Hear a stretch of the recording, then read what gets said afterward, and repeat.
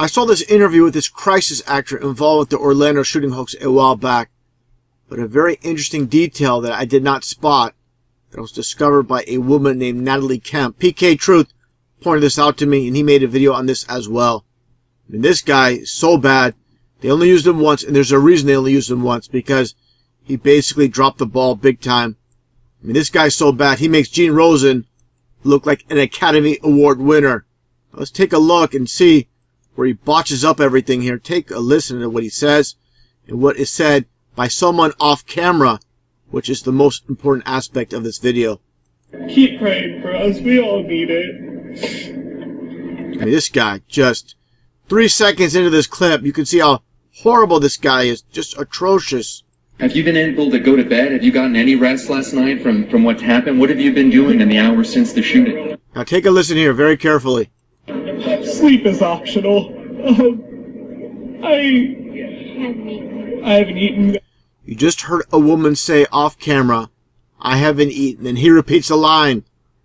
I mean, how obvious can it be what's taking place? Or take a listen again. I haven't eaten. I haven't slept. I haven't I haven't eaten, I haven't slept. Give me a break. Continue on. really done anything but try and find my friend. I've been continually calling. Um, Tell us your friend's name again, just in case someone out there knows him or, Big or smile. seen him. Describe him a little bit. She just said something else.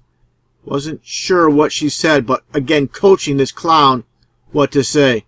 Maybe. uh, he's 23. He has brown hair. He has blue eyes. Uh, his name's Chris. Give me like tattoos or scars.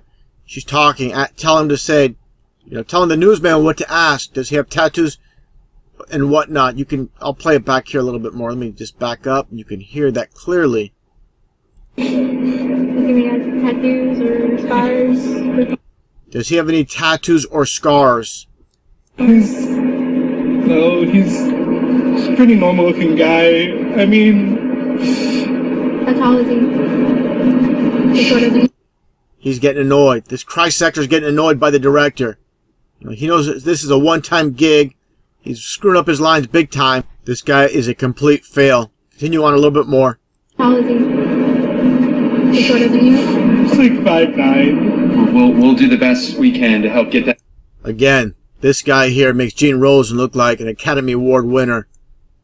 Yeah, this guy was fired after this. That's why they abruptly cut off this interview as well. Just take a look again how they just cut him off because it was going bad, really bad. He's like five nine. We'll, we'll do the best we can to help get that. After saying five nine, that was it. You know, that was enough of him. They pulled the plug on this guy. His career as a crisis actor is over. He's finished. He's done. what a joke. Yeah!